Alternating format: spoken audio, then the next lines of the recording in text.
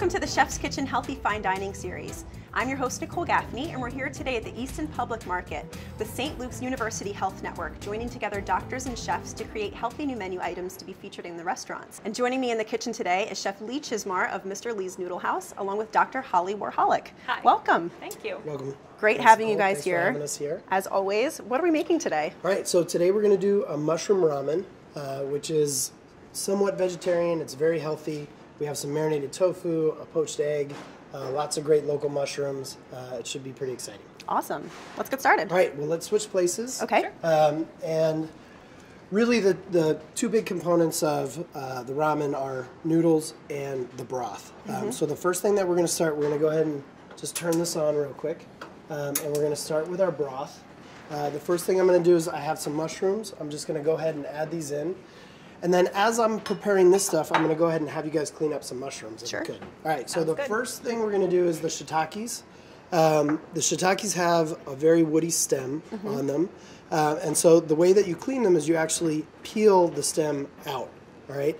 And one of the things a lot of people will take scissors and just clip the stems off, but that still leaves this very woody section. Um, so really the best way to do is just kind of peel those away. And when you're done, we're going to go ahead and just throw the stems right into our broth. Okay, great. Um, and then as you guys are doing that, I'm just going to go ahead uh, and start with an onion over here. Um, and I'm just going to julienne this very thin. Uh, because this is a vegetarian broth, um, one of the things usually when we're talking about our meat broths with ramen, you know, it can take up to 48 hours to make a really Right. flavorful broth. Uh, but a vegetarian one can be pretty quickly, uh, can be done pretty quickly. So I'm going to go ahead and add my julienne onions. Nice. And why is that? Because you're, you don't have to draw anything out of the Really, I mean, or- as far as the vegetables go, you're going to extract most of the flavor in 15, 20 minutes at a good simmer. It's good to know. So we're just kind of sweating this stuff out. I'm going to go ahead and grab one of my utensils over here. Um, I'm going to stir this up. I have a leek here. I'm going to go ahead and julienne. And you've made pretty quick work out of these. so while you're working on that last one, tell me what is your specialty at St. Luke's? So I'm a physician of obstetrics and gynecology at St. Luke's. Mm-hmm. So we deliver babies and we take care of women through all stages of life, from adolescence through getting pregnant, having babies, and then through menopause. Nice. Now, what is it that sets St. Luke apart from all the other hospitals in the region? So I think that we have a really great setup in our OBGYN practices in that Mm-hmm. we're a bunch of small groups. So for instance, I have two other physicians in my practice and the three of us cover all our call on our own. Uh, so during pregnancy, we get you to meet each one of us throughout the nine months of pregnancy so that you have a familiar face when you come in to have your baby. And that's so important because it- being pregnant and going through labor is such an overwhelming experience. It's nice to know that you're going to see a familiar face when you come through the door. What kind of advice would you have for first time moms? So there's a lot of information coming at you, especially when you're a first-time mom, and you know St. Luke's is well prepared to help make that as easy as possible as we can for you. Um, we have our Baby and Me Center where we have a lot of prenatal classes that you can take before you even come in to have your baby that will prepare you for the birth of your baby, and then a lot of support systems afterwards that can help you through that as well. It's fantastic. Chef, All right. you want me to add these in there? Yep, go ahead, add the stems right there. I kind of move that a little closer to us. Stay tuned for more of The Chef's Kitchen. We're back with more from The Chef's Kitchen. Um, so next, I'm going to have you do the maitake mushrooms, uh, and it's the same thing. You know, most mushrooms have that woody stem. Um, so you can see here, this is, you know, it almost grows like a flower. Um, I'm basically going to cut off the stem, uh, and then you're just going to go ahead and kind of pick them up from there. Okay. All right, so let me slice this guy off. Uh, this is a royal trumpet mushroom, same thing, stems are a little bit woody. I'm just going to go ahead and cut those off. Now, not the whole big fat stem, really, just the No, end yeah, piece. and you you can actually feel it as you go. It's tender. Oh, And totally. then you get to the bottom, and it's a little bit more woody. Yep. Next, I have a piece of lemongrass here too. Um, but one of the things is it's so woody um, that you really want to get the flavor out. Mm-hmm. Um, so one of the things that we'll do is just kind of rough it up. We're All just right. going to bang it up a little bit, and that helps get the flavor out. Nice. So we're going to go ahead and add that in there. Great. And kind of the next part of the dish is our soy uh, marinated mushrooms. Um, Okay.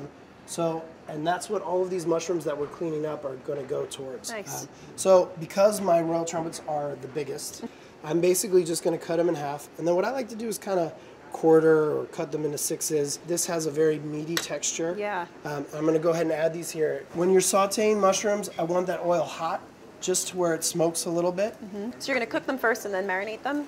Um, well, we're actually going to do like a pan marination. Okay. Um, so once we have them sauteed, we're going to go ahead and add GGS, uh, uh, garlic, scallions, ginger. GGS. Uh, yes. All right. Uh, which is kind of the backbone of a lot of uh, Asian-inspired cuisines. It's like the holy trinity of That's right. Asian That's right. cuisine. Just going to give these guys a little toss.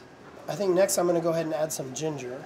The skin of ginger is actually has no flavor. Hmm. So technically, if we wanted to, we could just slice this up and add it right into the Okay. stock.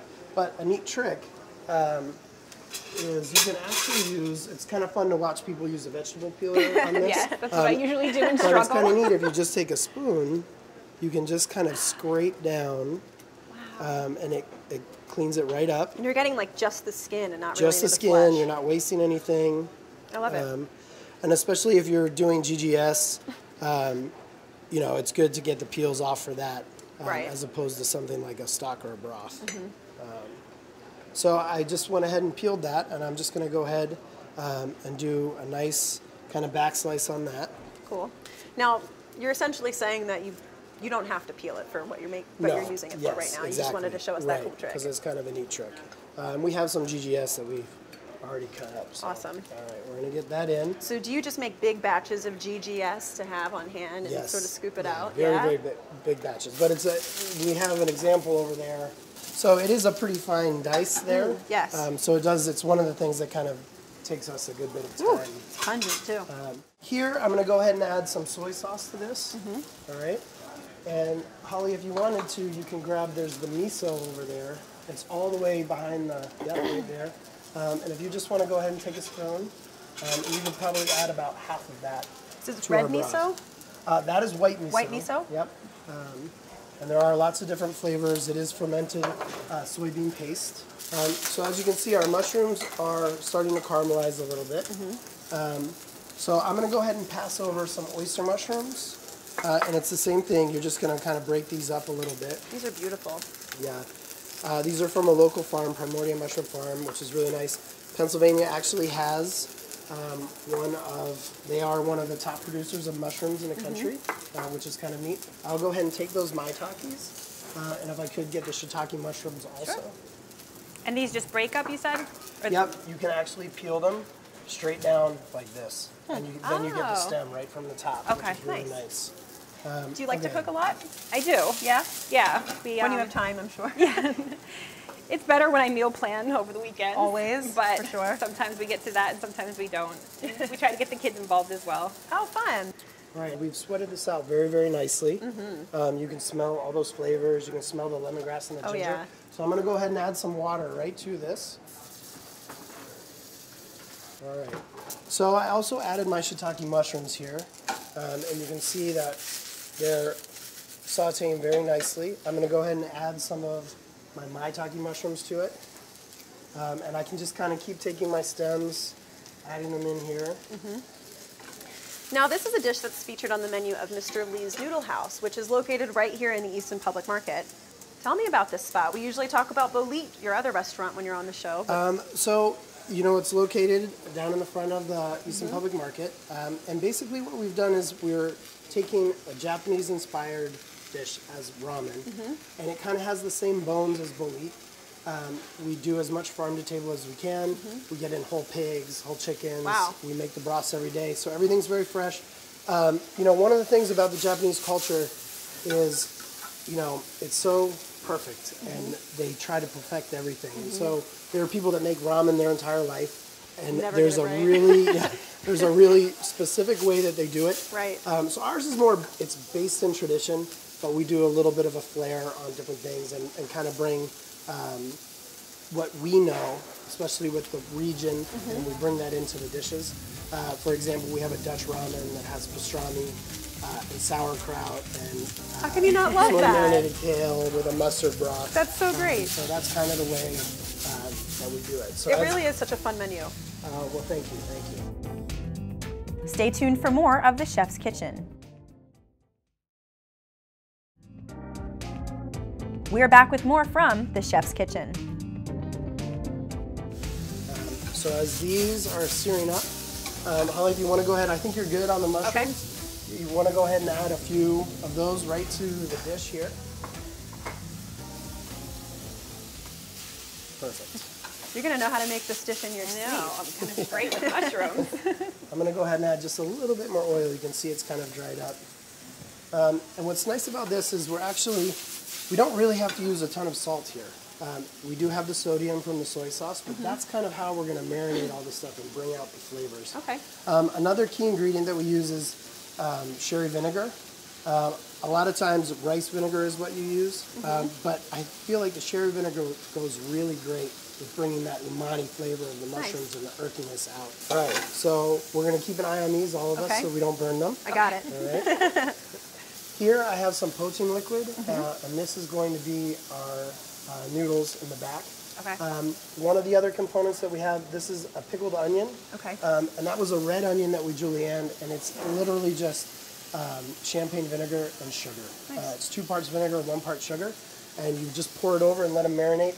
As they marinate, they stay purple at first, and then they kind of come down to that pink flavor. I love that color. Yeah. Um, over here we have some marinated tofu, um, which is equal parts soy sauce, rice vinegar, and a mushroom stock.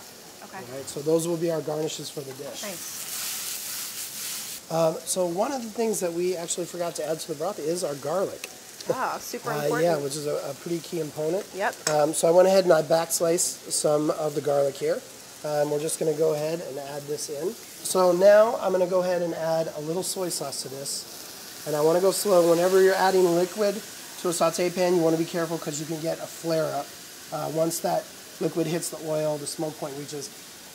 People love it, cameras love it, uh, but it does add a lot of uh, burnt or you know kind of bitter flavor to it. So we tend not to do it uh, unless, of course, you're like flambéing alcohol or cooking alcohol off.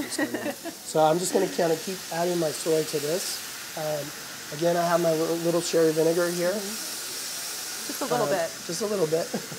and then I'm going to add, this is sesame oil. I like to do just a touch of that. Um, and then if you guys want to pass over our Mm-hmm. Ooh, GGS smell there. that soy already. Yeah, There you go. thank you very much. Um, so I'm just going to go ahead and add this. Now, once we add this, we want to be very careful um, because all these little things can burn. I'm going to just give this a toss. The last component here, I always like to add a little bit of thyme. You know, that's not typically something that you would see to this, but with, you know, combining some American flavors and Japanese Yeah. flavors, the thyme is really great to wake up the mushrooms Nice. and kind of mellow it out a little bit. So, Holli, tell me a little bit more about the Baby and Me Center. It's something really exciting that you guys offer. Absolutely. So at the Baby and Me Center, you can take uh, some of our classes, such as preparing for childbirth. We have breastfeeding services, which Okay. is a huge, um, you know, win for the patient. Right. Uh, and then you can take classes before you deliver, which is helpful to prepare you for what to expect with breastfeeding. And then afterwards, we have lactation consultants that you can meet with, who can help you, you know, make sure your baby's getting what he or she needs. That's great. And they have we have mom and me support groups um, where you know you can meet with other moms who are kind of in the same stage with their newborns, and that's really helpful to see that you're not alone and Yeah, that definitely. many women are having the same struggles with their newborns, Exactly. as well as the joys of it. Right. That's great. That's a really great resource. Yeah. Okay, so now I'm just uh, slicing up some scallions, um, and then we're pretty much ready to start uh, doing the noodles. Okay. Uh, and we're gonna poach an egg or two. At Mr. Lee's, we use a 60-minute egg, which Mm-hmm. we actually cook in a circulator. Um, but at home, if you don't have a circulator, it's nice to do a poach Okay. uh, oat egg as a garnish. Um, and I noticed the noodles that you have over here. Can you tell me a little bit about those? Uh, Do you make them in house? So we make them and we Wow. buy them. all Okay. So these ones are actually from Sun Noodle, um, and really, uh, the thing about um, a ramen noodle is it has a lot of alkaline in it. That gives it its chew, and that dates back to the water that they used, well water in Japan, where it was first conceived. Typically, a ramen uh, noodle will have flour, water, uh, an alkaline base, and that's pretty much it. What does the alkaline base consist of?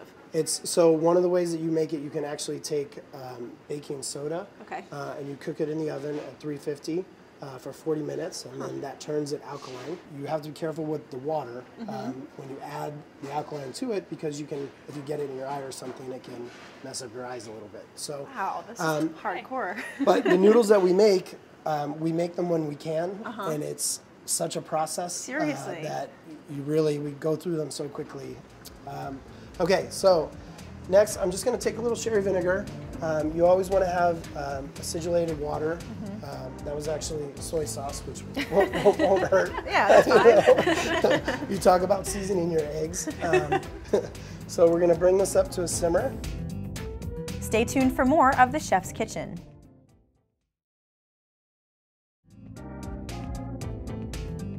We're back with more from the Chef's Kitchen.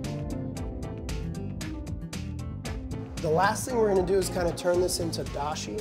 Um, so I have kombu, which is seaweed uh, or kelp. Um, what I'm going to do is actually turn off the liquid, um, and I'm, this is the last thing that I'm going to add. You don't want to boil it too much, or it can kind of turn your broth bitter.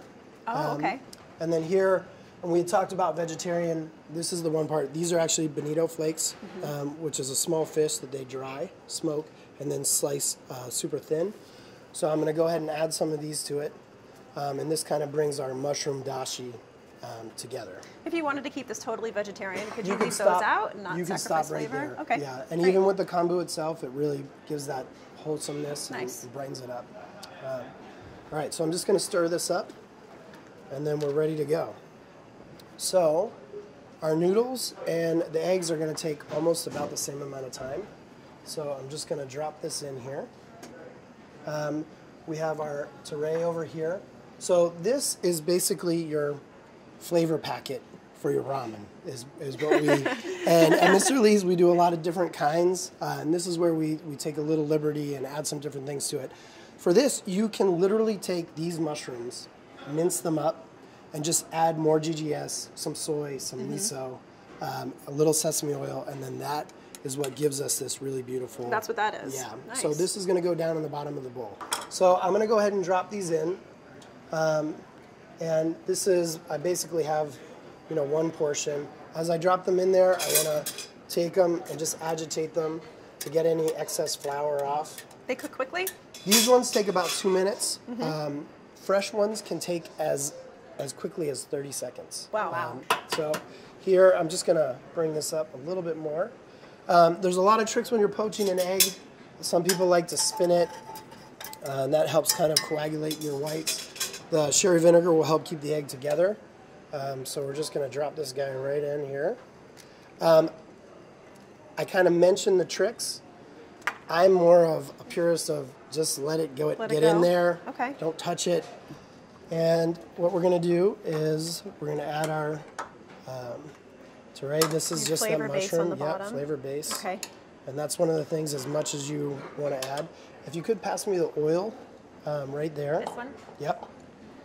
So it's good. You want to kind of have the fat at the bottom of the bowl. Um, and what that does is we're going to add our noodles next. And then the fat floats up. That coats the noodles. And so I'm just going to free up our egg here. Uh, and that's poach- poaching nicely. We're just going to cook it till the whites are set, and you can kind of see it's still a little loose. Mm-hmm. So I am just going to check one of these guys very quickly, and probably burn myself really bad. It looks like you're about to, yes. All right. So this has we're cooked and ready to go. So next, what we're going to do is just we kind of shake it off. Different ram- ramen masters have two shakes and then they go, or Wow. three shakes, or it's a very really specific intense, yeah. process. Yep. Next, I have a little broth over here um, that we have that I've already strained out. So we're going to come right in here and kind of pour this over. It really does look so rich, too. And that's the thing. We've seen there's really no fat. Right. Uh, it's just a little bit of oil. It's very, very healthy. Um, we're just going to put some compartments. You know, we like to kind of go around the dish uh, and garnish it with different things. Um, I'm going to jump across you and just grab the mushrooms. Um, and we're going to come right in here and just kind of work our way around. Nice. Um, next, I'm going to set this guy right They smell so good, too. Thank you. Um, we'll come in here. We have some tofu. It's the best part of ramen is all like the little toppings, yeah, it's really neat. accoutrements that go on Right. top. It's the best. All right. Um, and then lastly, let's see how our egg is doing. Um, All right, I think it's That looking looks pretty, pretty, good. perfect to me. All right. You like so- runny eggs? Runny Yes. yolks? So we'll They're drop this guy right, right there. Um, and then there's always an element of pickle. Um, so we're just going to take some of these guys, drop them right there. Nice. Um, I also, crispy is nice. So we have some crispy onions um, that we can go ahead and drop in. These are just some crisp fried shiitakes to garnish Ooh, with. I have to try one of those. Yep. And then Holli, if you want, grab a big handful of those scallions right there. And let's, mm, That much? that's, that's, I love scallions. I put it on top. I put it on the that's perfect. Yeah. But- and that's it. There we looks go. Looks fantastic. I can't wait to try this. Let's get in here. it looks right. amazing.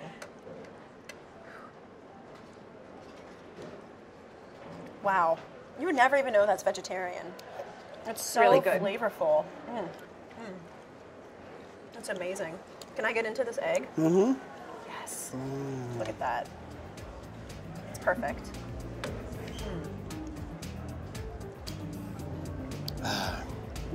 Very Perfect on a cold winter night. I'm glad you guys enjoy it. I'm gonna polish off this whole bowl by myself. Sorry, guys. Well, Dr. Marholic, Chef Lee, it's always a pleasure to have you on the Thanks so show. much, it's wonderful having St. Luke's with us. Please, let's do it again. All right. Absolutely. Thanks anytime. for having us. Yeah, thanks for having us. Mm.